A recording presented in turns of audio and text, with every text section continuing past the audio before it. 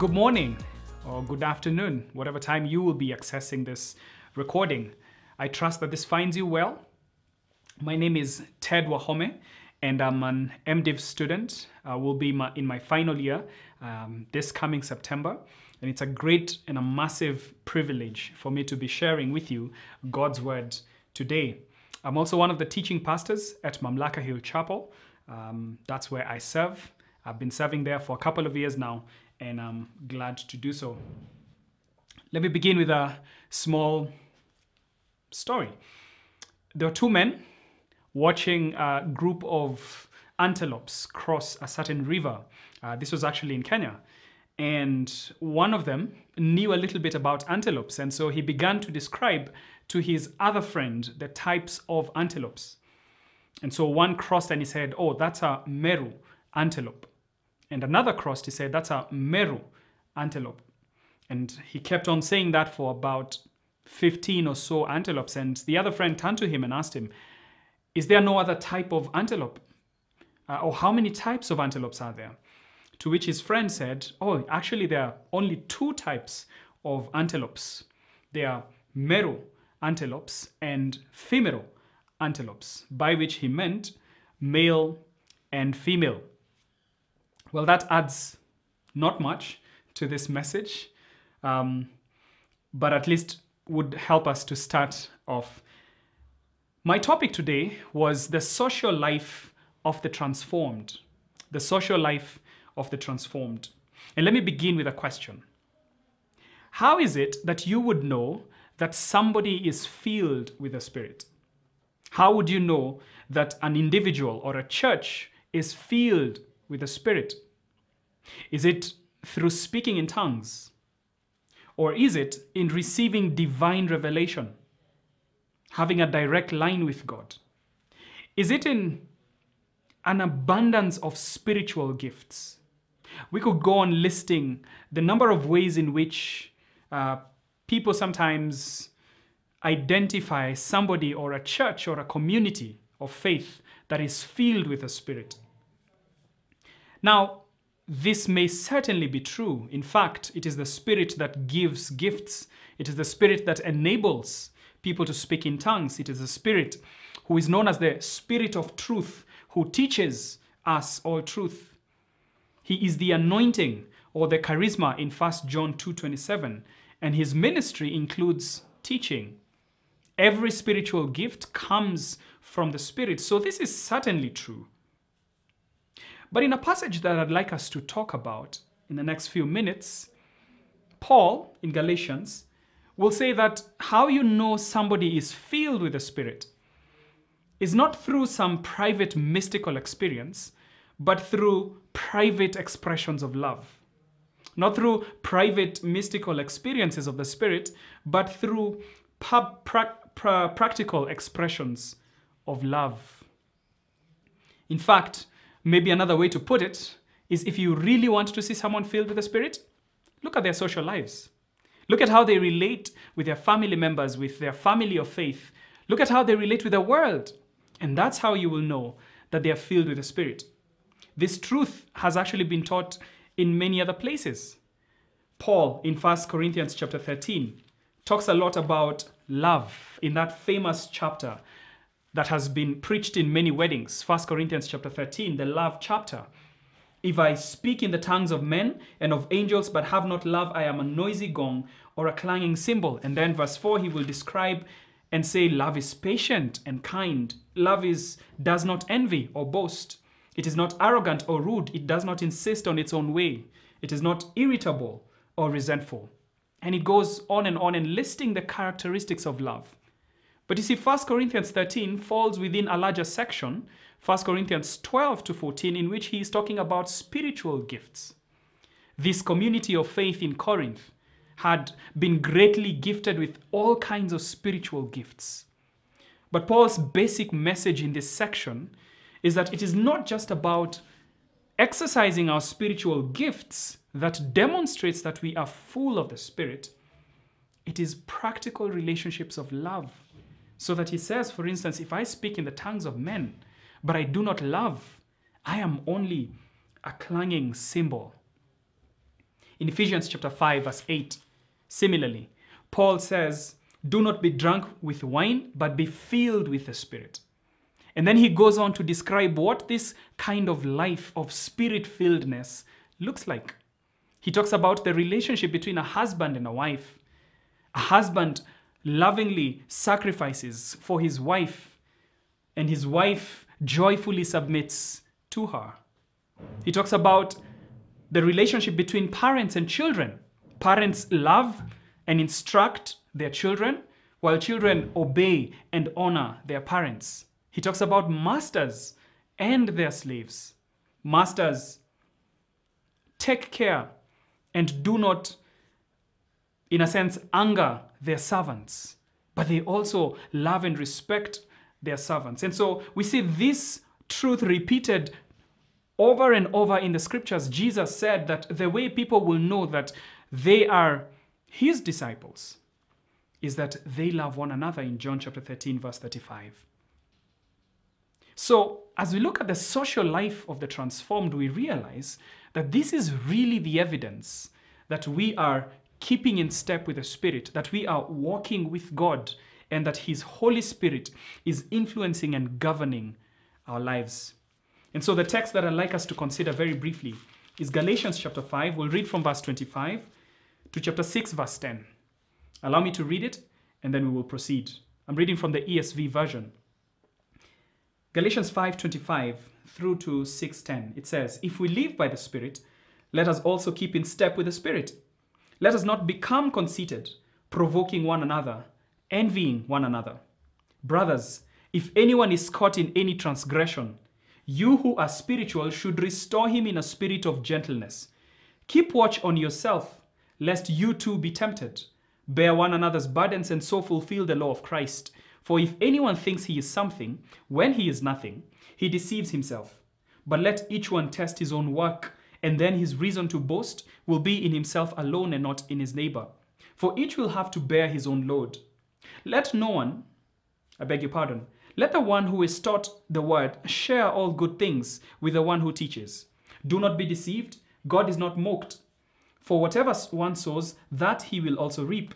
For the one who sows to his own flesh will from the flesh reap corruption, but the one who sows to the Spirit will from the Spirit reap eternal life. And let us not grow weary of doing good, for in due season he will reap if we do not give up. So then, as we have opportunity, let us do good to everyone, and especially to those who are of the household of faith. This is God's word. Allow me to pray briefly. Lord, those things that we do not know, teach us. Those things that we do not have, give us. Those things that we are not, make us. For your glory and our joy through Christ. Amen. I hope in this text we can very briefly see that Paul describes the social life of a transformed Christian. Then he spells out a danger that lurks as we seek to live this kind of life and lays for us a duty. He describes the social life, he spells the danger for us, and then lays a duty on us. First, look at how Paul describes the social life of the Christian. There are two main ways or two main spheres that Paul thinks about in describing how the Christian relates with others. And these two spheres are the church and the world. How does a Christian relate with fellow believers and the world? And the first way that he he or she relates with others is by carrying another's burdens. Look at chapter 6, verse 1. If anyone, brothers, is caught in any transgression, you who are spiritual should restore him in a spirit of gentleness. Keep watch on yourself, lest you too be tempted. Then, verse 2, he says, Bear one another's burdens. So, Paul imagines a situation in which a Christian, a brother or a sister, is caught, is overtaken. The word there speaks of someone who is overtaken by sin. This is someone who is caught unawares. Let me see if I can illustrate this. Imagine that somebody is watching some YouTube videos and they see a small video, uh, perhaps, that says seven most interesting facts about sex. And they begin to look at that. And you know, usually those videos have something like number five will shock you. And this person begins to look at that, looks at another video, and before long, they're going to bad sites, websites that they should not be going to. Or somebody is placing a bet in one of these many sports betting companies, and before long, they are overtaken with a gambling addiction. Or perhaps somebody is tolerating and propagating a rumor, and before long, they are overrun, overtaken by habits of gossip and slander. Paul says that one of the ways Christians relate with others is by bearing one another's burdens, approaching that brother or sister who is erring and actually reaching out to them and confronting them with their sin. Do you see? He says that you who are spiritual. Now, by spiritual, he doesn't mean that there is a special elite class of Christians. Everything between verse, chapter 5, verse 16 has to do with life in the spirit. So, a spiritual person is one who is keeping in step with the Spirit, somebody who is walking with the Spirit, influenced and governed by the Spirit. Everything they do is being directed by the Spirit. And he says, and lays a responsibility that you who are spiritual should restore such a brother or a sister, it would apply, in a spirit of gentleness. Now, the word here for restore is a very interesting word. Back in those days, it was used of how you would put or set back a joint that was out of place. So imagine some someone who had an accident and perhaps had a dislo- uh, dislodged um, shoulder. That person was restored in their joint. And it's not a simple process, it's, a painful process. And so Paul understands that in trying to do this, this is not easy right? I don't know if you've ever had the opportunity to go and talk to someone, perhaps a, a believer, and talk to them about some sin that may have overtaken them. And sometimes, you know, it, it fractures friendships. Sometimes that person may get defensive. It's not an easy process. But this is how believers live with one another. They bear one another's burdens. They bear one another's spiritual burdens. And so, Paul says that one of the ways we relate with others is through correction and rebuke in a spirit of gentleness and respect, knowing that we too are easily and sometimes easily entangled by those same sins. But there are many other ways in which we can bear the spiritual burdens of others. We can meaningfully engage in a local church and fulfill the one another's in the New Testament. Somebody has done a study and said that there are 52 one another's in the New Testament.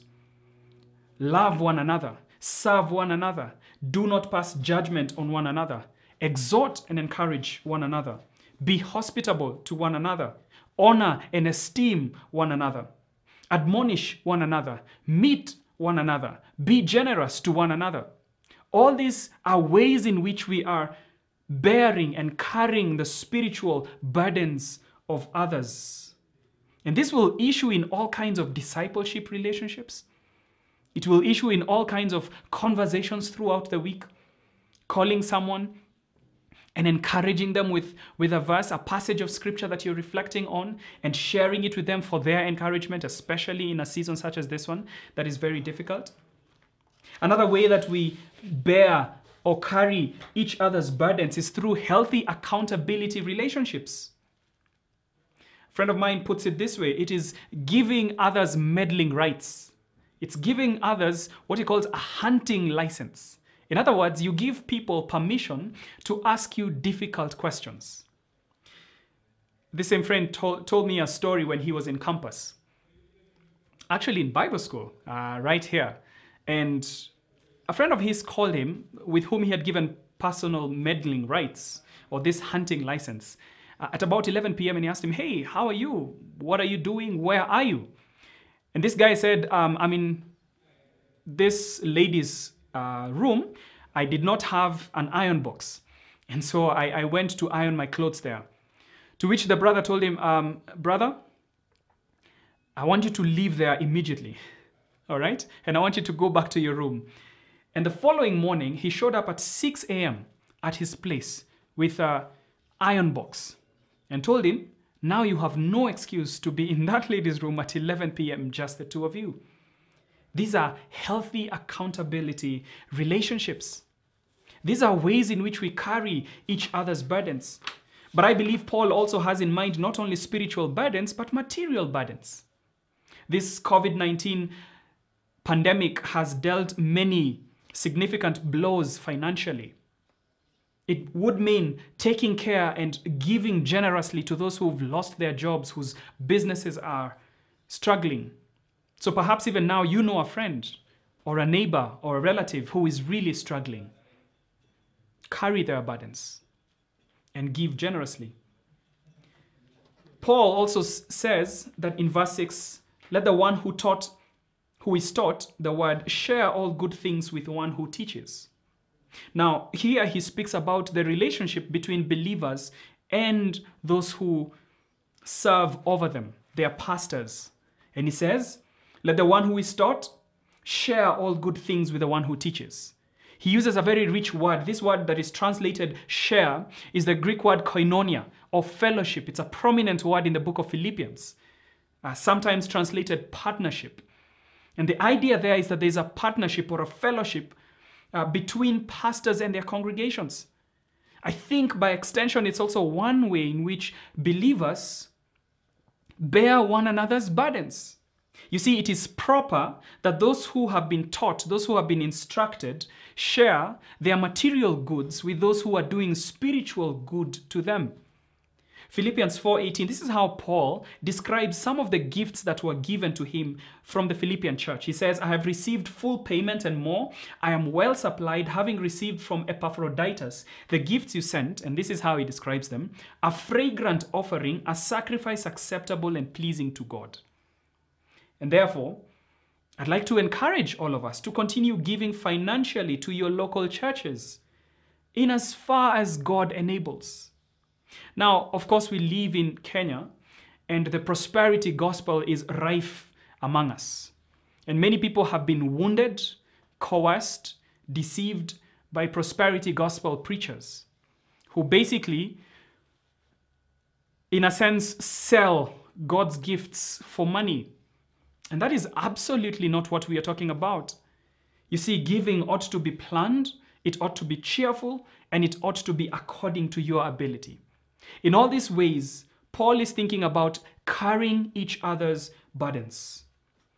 There's another way in which he describes this social life of the believer, and that is seeking good in the world. Look at verse 9 of Galatians 6. And let us not grow weary of doing good, for in due season we will reap if we do not give up. So then, as we have opportunity, let us do good to everyone, and especially to those who are of the household of faith.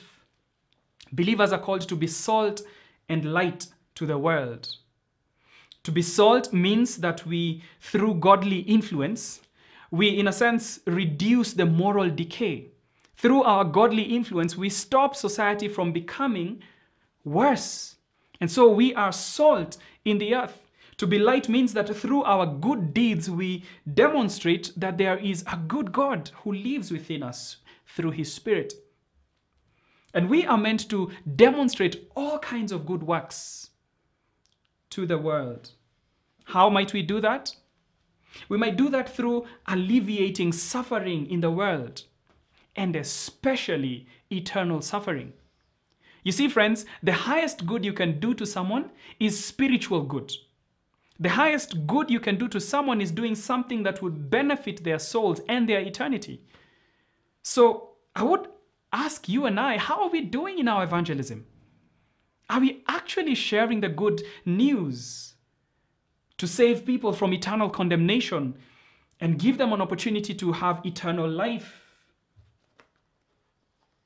But beyond that, we also need to alleviate physical suffering, temporal suffering. This means that we ought to give generously to those in need who might not be in the families of faith in which we find ourselves.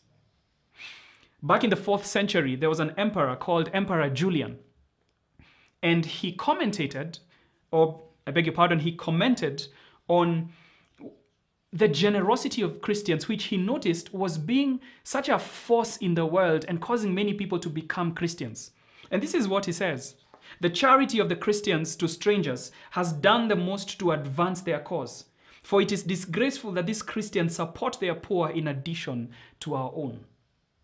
Emperor Julian was so affected and moved by the generosity of Christians who not only took care of their own poor, but even the poor of the world. And because of that, Christianity was spreading in leaps and bounds. Therefore, we are to seek opportunities to do good, to give generously. Do you have a neighbor who doesn't know Christ, who doesn't have a meal? Share with them. We are to do good in the world by seeking justice and mercy in the world. We do not have time to talk about how God demonstrates love through justice and mercy to the oppressed, to the weak, to the needy, to the orphans, to the widows, to the immigrants. And we are to seek good in the world. We are to seek justice and mercy in the world. We are to speak for the oppressed, caring for what are called the biblical quartet those who are oppressed, orphans, widows, immigrants, and the poor.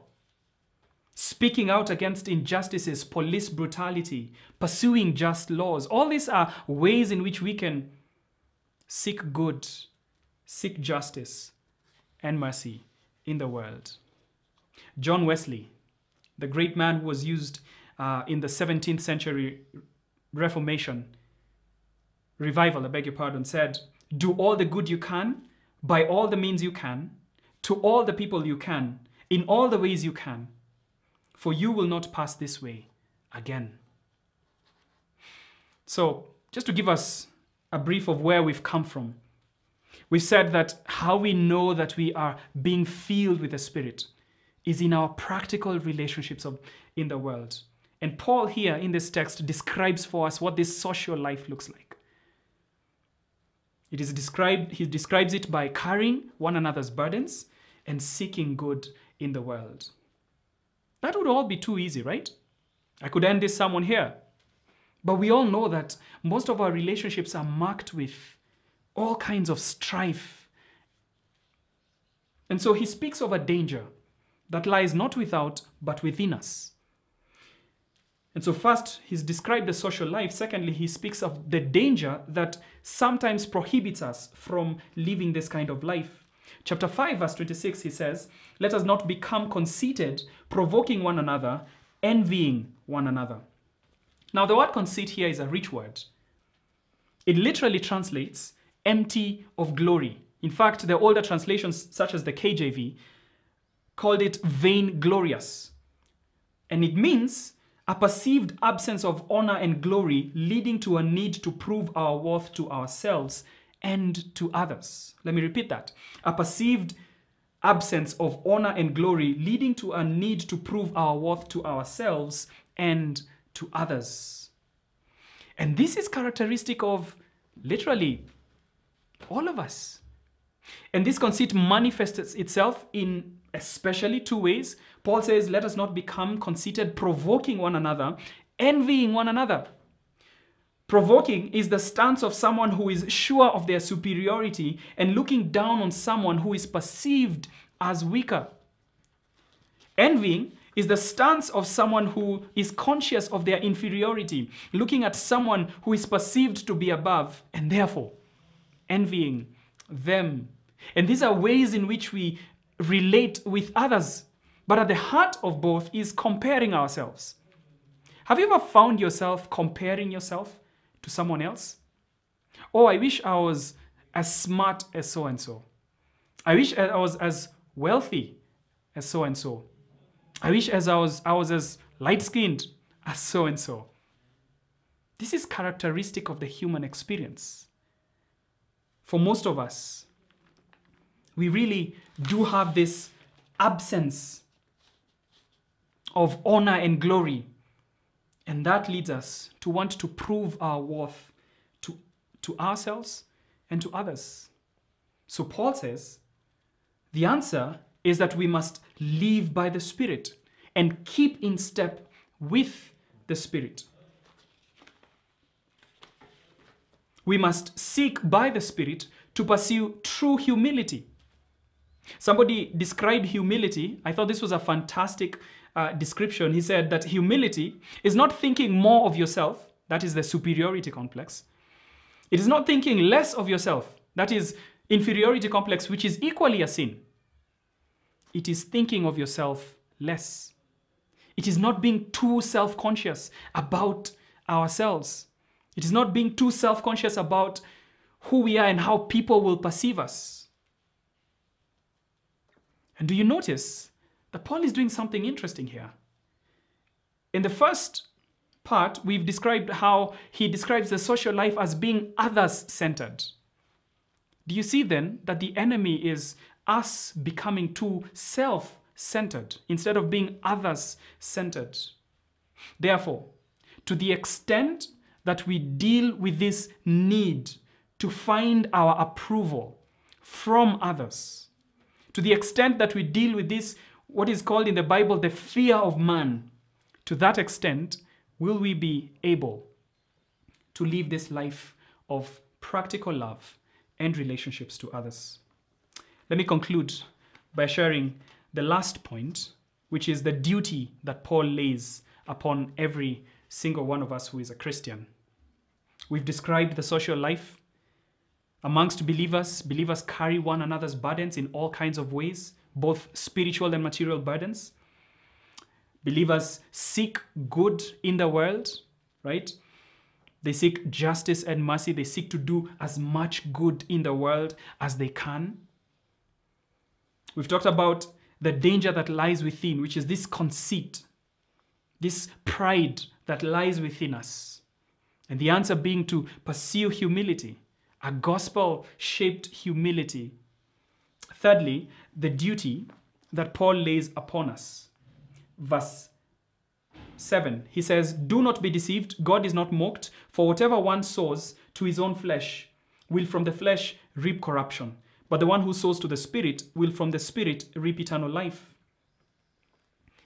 Now, in chapter 5, Paul had used uh, had spoken about these two same things, the flesh and the spirit. And in chapter 5, he uses a military metaphor. In verse 17, he says, The desires of the flesh are against the spirit, and the desires of the spirit are against the flesh. For these are opposed to each other, or they wage war against each other to keep you from doing the things you want to do. I'm sure as a Christian, you've experienced um, wanting to do certain things which are good, but not being able to do it. Why? Because the old man, the sinful nature, still dwells within you. The flesh lies within you. And then there are times when you really do want to do good in this world. Those are the passions of the flesh, and those two are at war. He moves from a military metaphor to an agricultural metaphor here. He likens the flesh and the spirit as two fields. And he says, You are always sowing.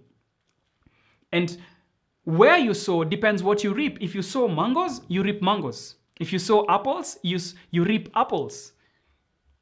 This is the irrevocable principle of sowing and reaping. And if you and I sow to the flesh, we will reap corruption. But if we sow to the spirit, we will reap eternal life. So, what does it mean to sow in the flesh? To sow in the flesh means to engage ourselves and to commit ourselves to things that allow the flesh to be dominant in our lives. We saw flesh when, remember in chapter 5, he speaks about all these things that are works of the flesh enmity, strife, jealousy, fits of anger, rivalries, dissensions, divisions, and envy. All these social sins that Paul talks about in chapter 5, verse 20 those, when we give ourselves, when we yield ourselves to those sins, we are sowing to the flesh. I don't know if you've ever talked to someone and they, you know, I, I think one of the things, for instance, that we like is, is really gossip and slander, right? Have you heard about so and so? Or you even present it as a prayer request. Please pray for brother so and so, pray for sister so and so. I heard, and then the gossip begins. Or maybe it could be envy. You're looking at others who seem more successful, who seem like God is blessing them in every way and God is not blessing them and we are envious of them. When we give ourselves onto these things, we are sowing to the flesh. And what happens is that it reaps corruption. The word corruption there speaks of disintegration. The imagery is one of decaying food. You see, sin always corrupts. Sin always leads to destruction. It leads to a disintegrated life. Or to use the words of Chinua Achebe, sin makes things fall apart. When you and I engage in enmity, in strife, in jealousy, in fits of anger, what it does is that it breaks relationships. It disintegrates relationships. However, if we sow to the Spirit, if we appropriate the means of grace, prayer, reading of the word, joining in community, practicing all the one another's that I spoke about earlier, if we sow in the Spirit, what it yields is eternal life. What it yields is character, love. Paul likens it in verse 22 the fruit of the Spirit love, patience, love, joy, peace, patience, kindness, goodness, faithfulness, gentleness, self control. This is the duty of every Christian.